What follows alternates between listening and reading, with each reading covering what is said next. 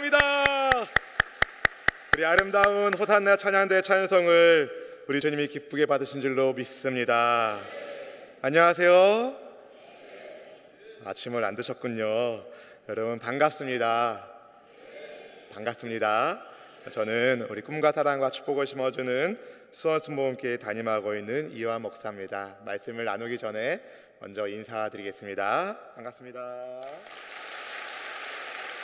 우리 옆에 있는 분에게 이렇게 인사하면 좋을 것 같아요. 참 잘 오셨어요. 반갑습니다. 네. 오늘 2018년도 새샘명 전도 축제 주일에 특별한 분들이 많이 오셨어요. 이제 왼쪽 가슴에 스티커를 하나씩 붙이신 분들은 저희 교회에 처음 오신 분들이세요. 그분들을 특별히 환영하시고 여러분 따뜻하게 맞이해 주시기를 부탁드립니다. 누군가의 권면으로 여러분 오셨죠. 가정의 평화를 지키려고 억지로 끌려오신 남편님들도 계실 거고 더 자고 싶은데 그죠? 또 아내님들도 계실 거예요.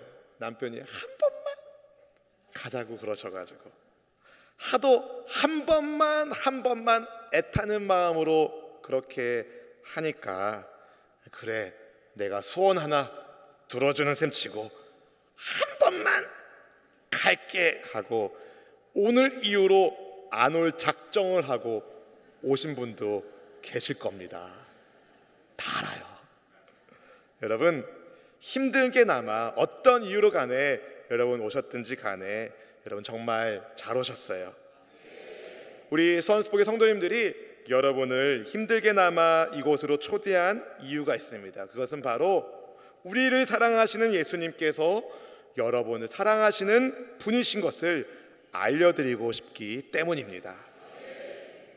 많은 분들이 예수님을 세계 4대 성인 가운데 한 분이라고 이야기합니다. 처음 들어보셨어요? 도덕 시간에, 윤리 시간에 배우셨을 거예요. 예수님은 세계 4대 성인 가운데 한 분입니다. 근데 그분이 스스로가 누구인지에 대해서 성경에 이렇게 기록되었는데 요한복음 11장 25절 26절 말씀을 우리 같이 한번 읽어볼까요? 예수께서 이르시되 나는 부활이요 생명이니 나를 믿는 자는 죽어도 살겠고 무릇 살아서 나를 믿는 자는 영원히 죽지 아니하리니 이것을 네가 믿느냐? 아멘. 여러분 예수님께서 부활이라고 자기 자신이 생명이라고 말씀하셨어요. 그러면서 예수님 믿는 사람은 죽어도 살고 살아서 믿으면 안 죽는데요. 아멘 하는 분들은 대단하신 분이에요. 이것은 맹정신으로는 믿기 어려운 일인 거죠. 예수님이 부활이요 생명이라고 살아서 믿으면 안 죽는다고 죽어서 죽어도 부활한다고 이 놀라운 말씀을 여러분 세계 4대 성인 가운데 한 분이 하셨다고요. 그럼 이분은 요즘 애들 말로 만약에 뻥을 쳐도 세게 쳤으면 인류의 수십억 명을 속인 희대의 사기꾼이라고 말할 수 있을 겁니다. 근데 저는 예수님께서 속인 분이 아니라 실제로 부활이요 생명이시기 때문에 그분을 통해서 우리에게 생명이 주어지기 때문에 저와 같은 우리와 같은 죄인들을 위하여 예수님께서 십자가 위에서 죽으시고 다시 부활하신 분이신 것을 믿습니다. 이 진리를 깨달은 한 여인이 여러분도 익히 들어봤을 법한 노래를 불렀어요. 내가 만약 외로울 때면 1979년도에 국제 가요제 대상을 받은 윤복희 관사님의 이 여러분이라는 노래가 어떤 의미를 가지고 있는 노래인지 여러분에게 들려드리겠습니다. 내가 만약 외로울 때면 누가 나를 위로해 주지. 어떻게 보면 이 노래의 하이라이트라고 말할 수 있는 그 분의 그 부분의 원래의 의미가 내가 하나밖에 없는 나의 아들을 누구의 죄를 대속해서 십자가에 못 박혀 죽게 했는 줄 아니 너희들이라는 겁니다. 저는 예수님께서 저를 포함하여 죄인된 우리를 구원하기 위하여 이 땅에 오신 하나님의 아들이심을 믿습니다. 그분의 따뜻한 사랑 안에서 제 얼어붙었던 마음이 녹아졌고 우울했던 인생의 빛이 임했습니다. 저는 목사의 아들로 태어났기 때문에 교회와 집의 경계가 별로 없었던 교회가 집이고 집이 교회인 기독교 문화가 익숙했던 사람입니다. 그러다 보니까 자연스럽게 신의 존재에 대해서 하나님에 대해서 믿게 되었어요. 그런데 하나님께서 저를 사랑하신다는 사실에 대해서는 그렇게 별다른 감각이 없었습니다. 그러다가 시편 8편의 말씀을 가지고 만들어진 노래를 듣다가 하나님께서 이 세계를 만드신 까닭이 저와 같은 사람을 위해서라고 그리고 하나님이 저를 돌봐주시는 분이시라는 깨달음을 갖게 되었어요. 그때 이후로 저는 진지하게 하나님을 믿는 사람이 되었습니다. 하나님께서 저를 돌봐주는 분이심을 하나님께서 여러분을 돌봐주는 분이시라는 것을 가장 잘 보여주는 분이 바로 예수님이셔요. 예수님께서 자기가 이 땅에 오신 목적에 대해서 이렇게 말씀하셨습니다. 마태복음 20장 28절 말씀 함께 읽어볼까요? 인자가 온 것은 섬김을 받으려 함이 아니라 도리어 섬기려 하고 자기 목숨을 많은 사람의 대속물로 주려 함이니라. 아멘. 여러분 예수님께서는 섬기려고 오셨다라고 말씀하셨어요. 그리고 저와 같은 우리와 같은 죄인들을 살리기 위하여 자기 목숨을 많은 사람의 대속물로 주기 위하여 오셨다라고 말씀하셨어요. 그리고 그분은 정말 우리의 죄값을 지불하게 하여 십자가 위에서 죽으셨어요. 이런 분이 어떻게 사기꾼이 될 수 있단 말입니까? 사기꾼이 사기치려고 죽는 경우는 없어요. 어떤 사기꾼이 사기치려고 자기 목숨을 바칩니까? 예수님이 실제로 부활이고 실제로 생명이시기 때문에 그분은 그렇게 하신 겁니다. 그리고 그분을 믿는 자에게 영생이 선물로 주어집니다. 요한복음 3장 36절 3방절 말씀이 이렇게 말해요. 아들을 믿는 자에게는 영생이 있고 아멘. 오늘 이 아침에 여러분 모두에게 아들 예수님을 믿는 믿음 안에서 영생이 선물로 주어지기를 주님의 이름으로 축원합니다. 지난 금요일 남북의 정상들이 판문점에서 만났어요. 그 광경을 보면서 많은 사람들이 눈물을 짓더라고요. 저도 눈물이 났어요. 그만큼 한반도의 평화와 통일은 대한민국 국민들에게 있어서는 꿈 같은 일일 것입니다. 앞으로 넘어야 할 산이 너무 많아요.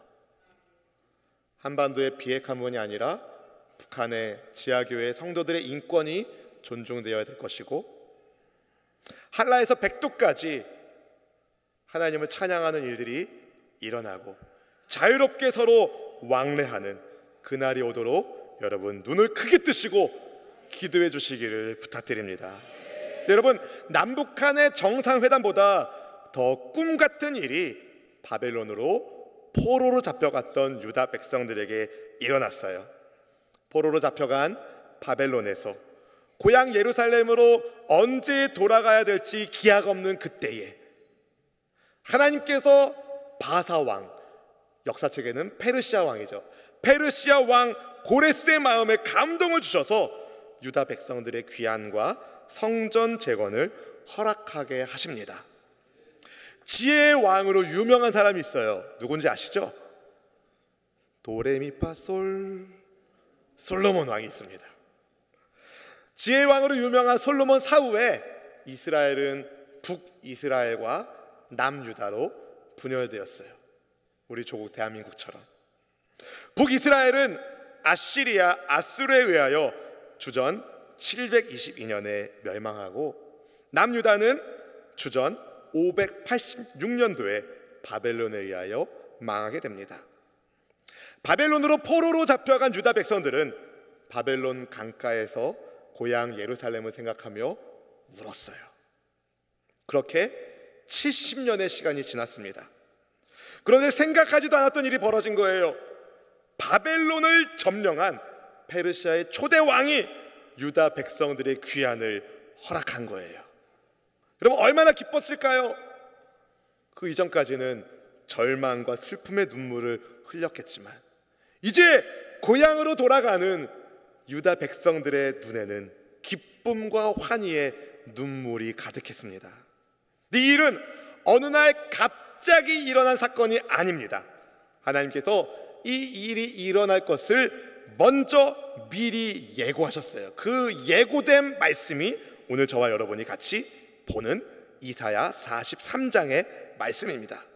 하나님께서 하나님의 뜻을 버리고 죄를 짓던 유다 백성들을 징계하셔서 바벨론의 포로가 되게 하셨지만 때가 되면 그들을 구원하시겠다는 새로운 일을 행하시겠다는 하나님의 예언을 이사야 선지자가 받아서 전한 거예요.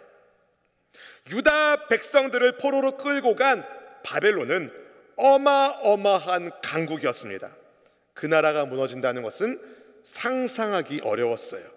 그런데 그 믿기 어려운 일이 페르시아라는 나라를 통하여 일어나고 또 그 나라의 초대 왕을 통하여 유다 백성들이 풀려난 거예요. 어떻게 이런 일이 일어날 수 있었을까요? 우연일까요? 아니요!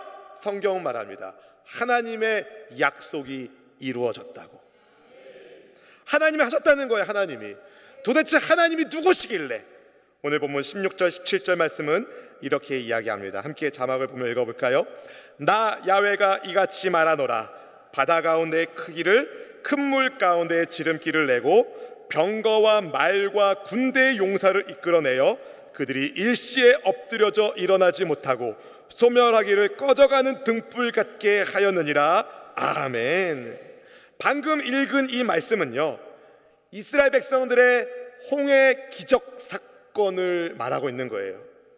이스라엘이 과거 최강국이었던 이집트의 노예로 잡혀 있었을 때에 그들이 430년의 노예 생활을 마치고 풀려나게 됩니다. 해방을 받게 되어 하나님이 그렇게 해주셨어요.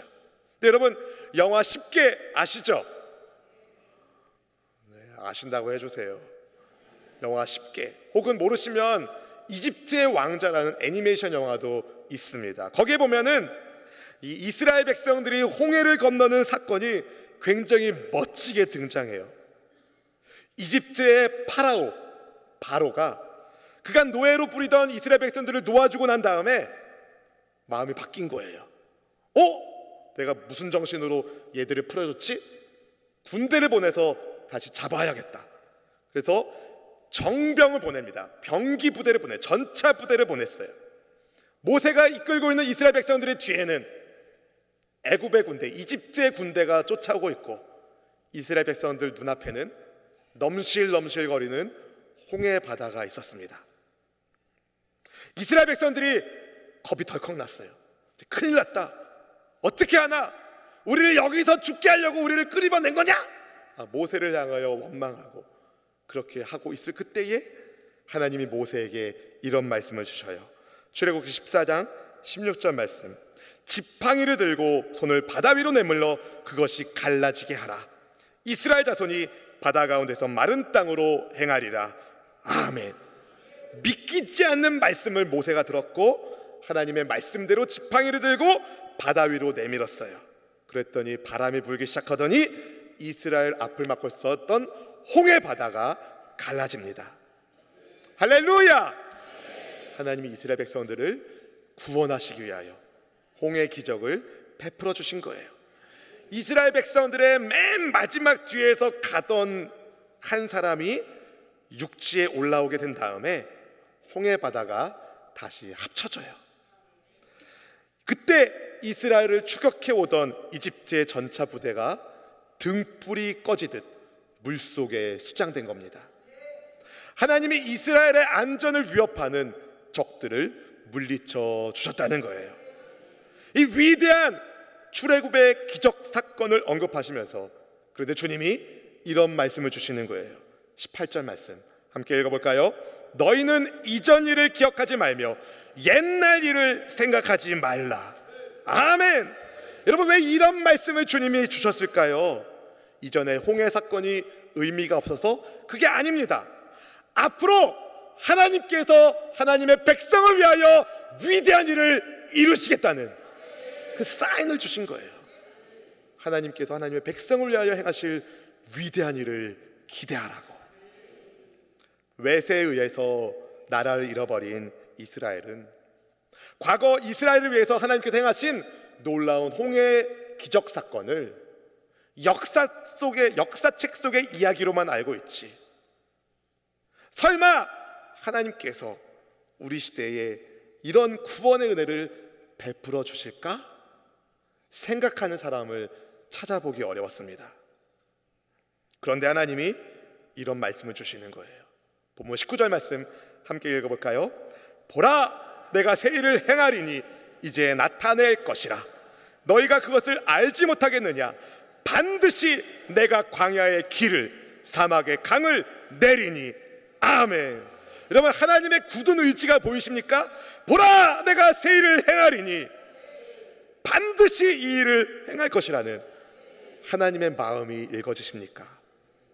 절망을 거두시고 소망 주기를 원하시는 하나님의 사랑.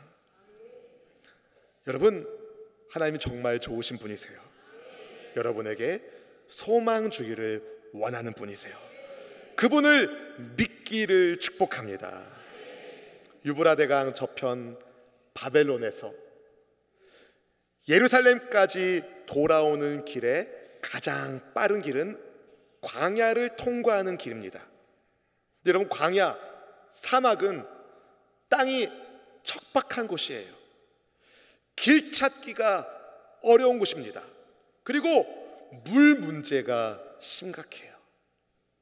광야를 안전하게 통과하려면 길을 헤매지 말아야 되고 물이 부족하지 않도록 만반의 준비를 갖추어야 됩니다. 하나님이 말씀하시는 거예요. 광야의 길을 내가 내겠다. 사막의 강을 내가 내겠다. 길 문제, 물 문제 하나님이 해결해 주시겠다는 거예요. 반드시. 지난 한 해 하루 로또 복권 판매량이 기록을 갱신했어요. 하루에 얼마 팔렸는지 아세요? 하루에 104억. 놀라주셔서 감사해요. 역대 최고치를 갱신했어요. 지나가다가 벼락이 떨어져서 콩이 볶아지는 그 확률. 복권에 당첨될 확률이 만큼도 보이지 않는데 왜 사람들은 복권을 살까요? 요만큼의 희망이라도 갖고 싶어서. 왜요? 자기 인생이 답답하니까. 여러분 어떻습니까? 인생을 살면서 어디로 가야 할지, 어떻게 살아야 될지 모른 채 방황하는 사람들이 부지기수입니다. 여러분은 어떻습니까? 광야 같은 여러분의 인생 속에서 혹시 길을 잃은 분은 아니 계십니까? 타는 목마름으로 내면의 갈증 속에서 아파하는 분은 아니 계십니까? 길 문제, 물 문제로 고통 중에 계시지는 않습니까? 오늘 이 아침에 하나님께서 마련해 주신 길을 향하여 가시고 하나님께서 준비하신 물을 마시기를 축복합니다. 다시 말해 예수님을 믿으세요. 예수님께서 요한복음 14장 6절 상반절에서 이렇게 말씀하셨어요. 예수께서 이르시되 내가 곧 길이요 진리요 생명이니 요한복음 7장 38절 말씀이 이렇게 말합니다. 나를 믿는 자는 성경의 이름과 같이 그 배에서 생수의 강이 흘러 나오리라. 아멘. 예수님을 믿으면 길 문제가 해결됩니다. 예수님을 믿으면 물 문제가 해결됩니다. 사랑하는 성도 여러분, 하나님의 채워주심은요, 간신히가 아니라 풍성입니다. 본문 20절 말씀은 이렇게 말해요. 20절 말씀 읽어볼까요? 장차 들짐승 곧 승냥이와 타조도 나를 존경할 것은 내가 광야의 물을 사막의 강들을 내어 내 백성 내가 택한 자에게 마시게 할 것임이라 아멘. 하나님의 역사는 사막의 들짐승들조차 하나님을 찬양하게 만듭니다. 하나님께서 광야의 물을 사막의 강을 내어 마시게 한 것은 심심해서가 아닙니다. 하나님이 택한 백성에게 마시게 하시려고 들짐승들이 마셔도 부족하지 않을 만큼 풍성한 물을 하나님께서 사막에 내시는 까닭은 하나님이 택한 사람들을 사랑하시기 때문입니다. 여러분이 오늘 이곳에 초대받아서 오신 것은 하나님께서 여러분을 택하셨다는 여러분을 사랑하신다는 증거입니다. 하나님께서 여러분에게 구원을 선물로 주시기를 축복합니다. 누군가의 노랫말처럼 인생은 나그네 길입니다. 우리 삶은 광야 인생이라고 말할 수 있어요. 그래서 광야의 길을 만드시고 사막의 강 만드시는 분이 반드시 필요합니다. We need God. 우리는 하나님이 필요한 사람들입니다. 여러분의 인생 가운데 하나님이 길을 내어 주시고 강을 내어 마시게 하는 축복의 길을 주의 이름으로 축원합니다. 먼저 예수님을 믿고 구원받은 우리 성도님들께 말씀드립니다. 하나님의 구원을 깨달은 하나님의 백성은 날마다 주님을 찬송해야 됩니다. 광야에 물을 내시고 나 때문에 물을 내시고 사막에 강을 만드신 하나님을 찬양해야 돼요. 만약에 찬양하지 않으면 짐승보다 못한 사람 되는 거예요. 들짐승들도 광야에 물 내고 사막에 강 만드신 주님을 존경하는데 직접 하나님의 은혜를 수혜받은 우리는 하나님을 당연히 찬송해야 됩니다. 본문 21절 말씀이 그래서 이렇게 말하는 거예요. 같이 읽어볼까요? 이 백성은 내가 나를 위하여 지었나니 나를 찬송하게 하려 함이니라. 아멘. 여러분 하나님께서 하나님의 택한 백성에게 기대하시는 것 광야의 길을 내시면서 물을 마시게 하는 하나님의 목적이 있는데 그것은 하나님과의 관계를 맺는 거예요. 하나님께 영광을 돌리는 거예요. 열심히 찬송하는 거예요. 그런데 광야의 길을 내신 그 길을 걸어갈 때 때로는 찬송하고 싶지 않을 때도 있어요. 구원받은 성도라 해서 광야길에서 벗어날 수 없기 때문에 때로는 힘든 일이 닥칩니다. 그럼에도 불구하고 여러분 찬송하십시오. 바울과 신라가 빌립보 감옥에 갇혀 있을 때에 그들이 찬송했어요. 찬송 중에 거하시는 하나님의 능력으로 그 옥문이 열리고 묶였던 착고가 풀려졌습니다. 하나님의 말씀대로 유다 백성들이 바벨론 포로 생활을 청산하고 귀환했을 때 모든 것이 다 잘 될 거라고 생각했던 그때에 예루살렘 성전을 짓는 것을 방해하는 원수의 공격이 있었어요. 비방이 있었어요. 모략이 있었어요. 힘든 시간을 보내야만 했습니다. 하지만 광야에서 길을 내시고 사막의 강을 만드신 하나님께서 유다 백성들을 끝까지 책임져 주셨어요. 불가능을 가능케 하시는 전능하신 하나님께서 그들을 도와주셨어요. 보라, 내가 새 일을 행하리니 이제 나타낼 것이라. 하나님의 약속 붙잡고 이스라엘 백성들 힘내어 성전을 완공합니다. 여러분, 어떤 순간에도 절망하지 마십시오. 예수 그리스도를 통하여 우리에게 영생의 소망을 주시는 하나님께서 하나님의 백성을 위하여 반드시 새 일을 행하시니 주님을 믿기를 축복합니다. 오늘 한 번만 내가 나가줘야겠다가 아니라 여러분 평생 하나님을 예배하는 은혜가 있기를 축복합니다.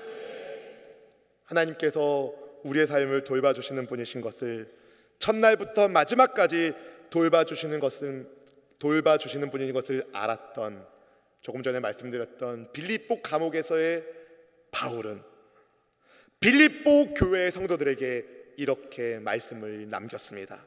빌립보서 1장 6절 말씀 함께 읽어봅시다.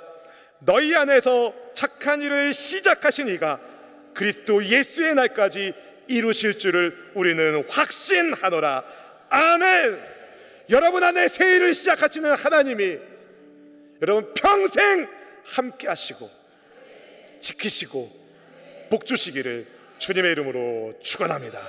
부디 예수님 안에서 예수님 안에서 참 사랑과 참 행복을 누리시며 나를 위하여 우리를 위하여 새 일을 행하시는 주님을 찬양하며 그분께 영광을 돌리는 멋진 크리스찬 그리스도인들이 다 되시기를 주님의 이름으로 축원합니다. 축원합니다. God will make a way 하나님 길을 만드시니 우리 돈 모엔 목사님이 지으신 이 노랫말 가사를 기억하면서 우리 함께 주님 앞에 찬양 드립니다.